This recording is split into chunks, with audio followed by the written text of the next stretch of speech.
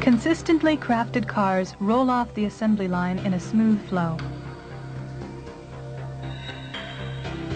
They are alive with the spirit of providing people with quality products through conscientious manufacturing and continuing research and development. This is the Toyota production system, where manufacturers eliminate waste to provide customers with well-made products in a timely manner. At the heart of the Toyota production system are the concepts of intelligent automation and just-in-time manufacturing.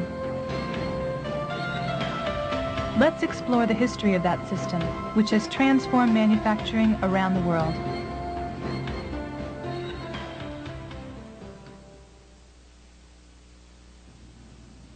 The concept of intelligent automation, called Jidoka, originated in looms invented by Sakichi Toyoda, the founder of the Toyota Group.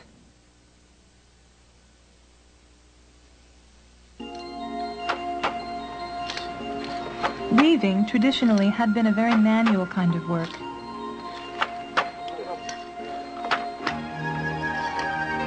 The weaver fed the horizontal yarn back and forth between the vertical yarns.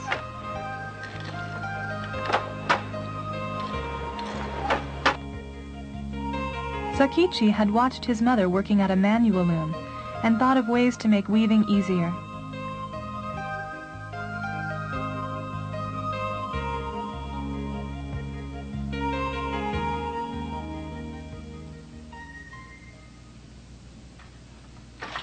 He invented an original wooden hand loom in 1890. His loom was easy to use and nearly 50% more efficient than previous looms. The operator could move the yarn guide back and forth with one hand and feed in the horizontal yarns simultaneously. Sakichi then went to work on power looms. In 1896, he created Japan's first power loom, and he continued making one improvement after another. In 1924, Sakichi and his son Kiichiro achieved a historic breakthrough. They created the world's first high-speed loom that fed in new weft, the horizontal yarn, reliably without interrupting work. Let's take a look at a feature of their breakthrough non-stop loom, the Model G. Traditional looms wasted material on fabric like this when one of the vertical warp yarns snapped, as often happened. To prevent that waste, Sakichi and Kiichiro arranged thin metal floaters over the vertical yarns. A floater would slip down and stop the loom if its yarn snapped. These automatic stop innovations for preventing waste were absolutely remarkable. Sakichi had created sophisticated sensors, and he had done that without the benefit of the electrical and optical technology we now take for granted.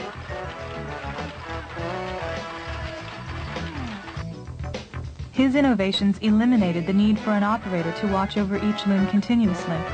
One operator could oversee more than 30 looms. The Model G captured a great deal of attention in Europe and the United States.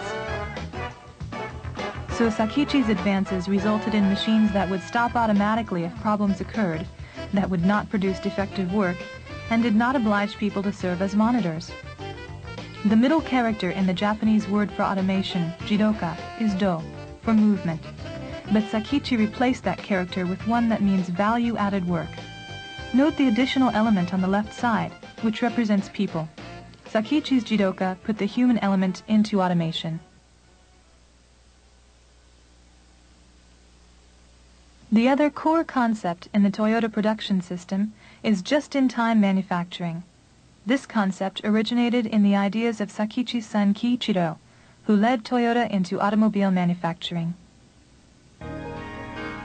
Along with working with his father on the Model G loom, Kiichiro helped put in place a mass production system. He established Toyota Automatic Loom Works in 1926 and introduced American assembly line methods to produce the Model G loom.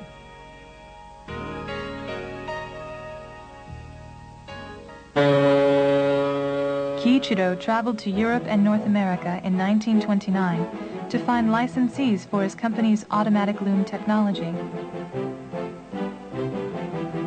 He was amazed at all the vehicles and roads in the United States and he resolved to begin developing automobiles. People tried to dissuade Kiichiro. They said that Japan didn't have either the technology or the economic foundation for a viable car industry. But he ignored their doubts and set up a shop in a loom factory to develop small engines. He undertook the risk of investing in expensive precision equipment.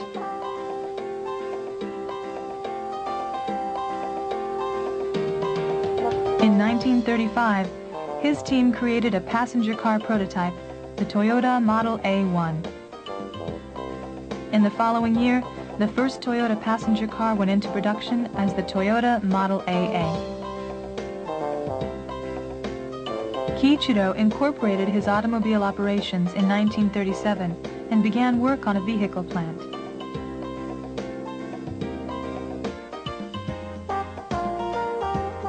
He refined American mass production methods for his plant and developed the beginnings of just-in-time manufacturing.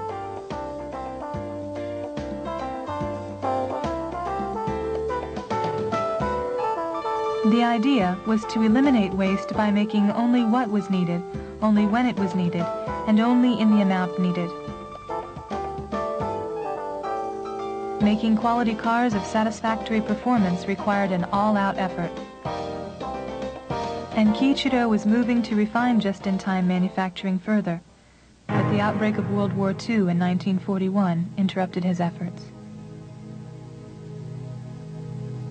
After the war, Kiichiro passed on his dream to his cousin Eiji. He instructed Eiji to bring the company up to U.S. standards of technology within three years. That was a daunting task. U.S. productivity in automobile manufacturing was eight times higher than Japan's, and Toyota was short of equipment and capital. So raising productivity was a pressing issue. Eiji assigned a machine shop manager by the name of Taiichi Ono to develop a more efficient production system.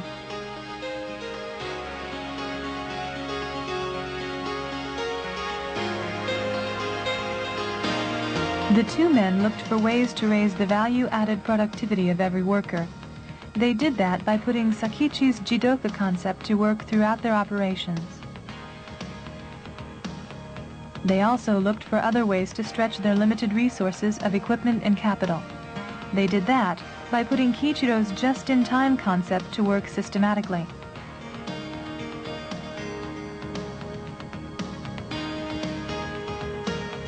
Ono took a cue from the U.S. supermarket. He made each process the customer for the preceding process.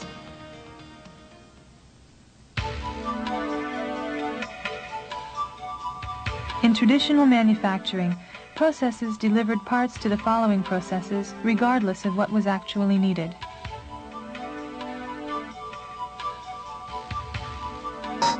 Ono devised a completely new kind of system. Processes used Kanban cards removed from parts they had consumed to withdraw parts from the preceding processes. Kanban on the parts arrayed by processes came off when the following processes withdrew the parts. They became instructions to make additional parts. The Kanban flow ensured that processes made parts only to replace parts actually consumed by the following processes.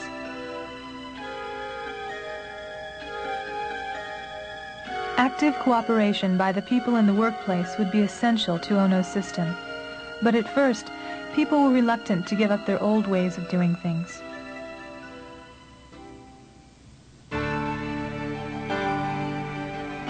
Ono took the initiative. He went into the workplace and taught people how to use his system.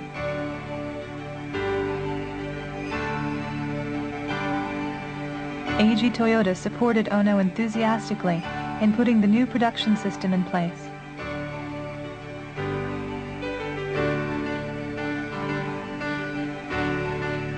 New production system gradually took shape on the foundation of just-in-time manufacturing and Jidoka Intelligent Automation. As the Toyota production system, it became a standard for manufacturing industries.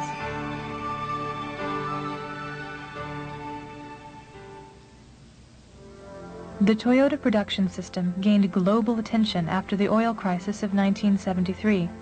Toyota recovered more quickly than other automakers from the crisis, and its production system received much of the credit for that resilience. General Motors Corporation approached Toyota about setting up a joint venture to make small cars in the United States. The two companies set up New United Motor Manufacturing Incorporated in California in 1984. Differences in language and culture presented big challenges, but the spirit of making things well knows no borders.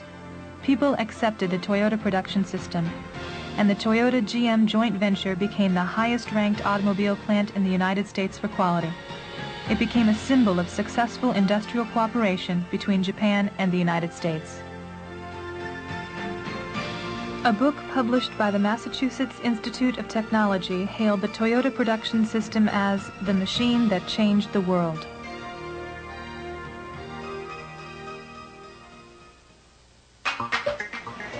Today, the Toyota production system has gained a worldwide following. Let's see how the system now operates in the world's most modern automobile plants.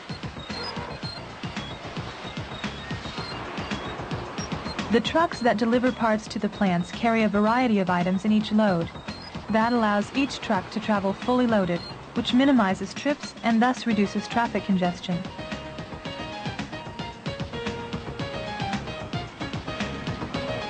Forklifts carry the parts unloaded from the delivery trucks to racks alongside the assembly lines.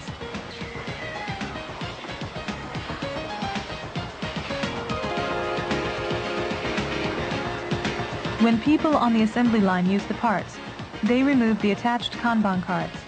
The Kanban get picked up regularly and sorted. The delivery truck drivers pick up the Kanban for their company or companies before leaving. Back at the supplier's plants, the Kanban become orders for withdrawing additional parts.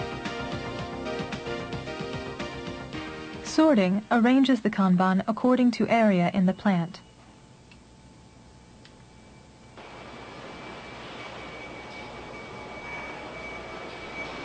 Shipping personnel exchange the Kanban and empty boxes for full boxes.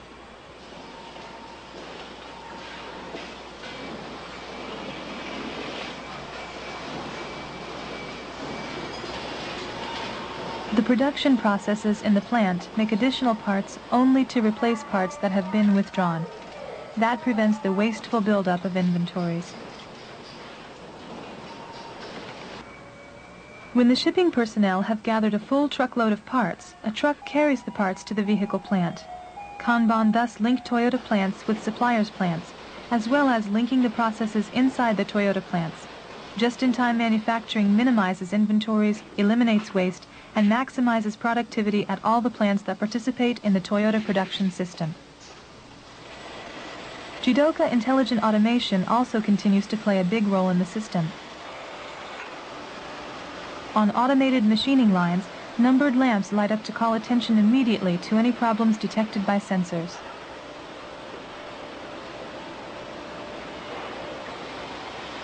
On assembly lines, the employees themselves have devised countless Jidoka measures to prevent defective work.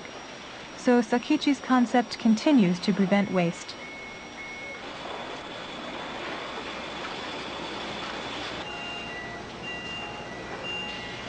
The idea is to build quality assurance into every process, and it works.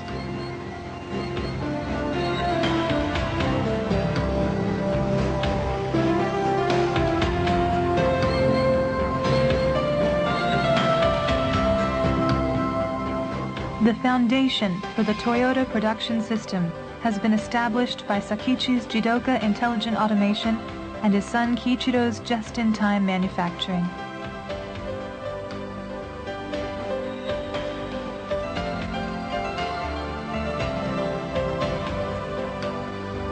Taiichi Ono and others put those concepts to work systematically with the strong support of Eiji Toyota and his passion for manufacturing.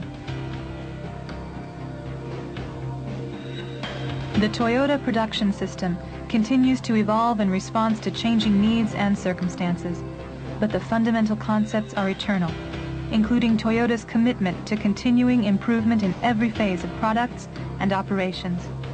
Those concepts underlie a lasting contribution to enhancing the quality of life for people everywhere.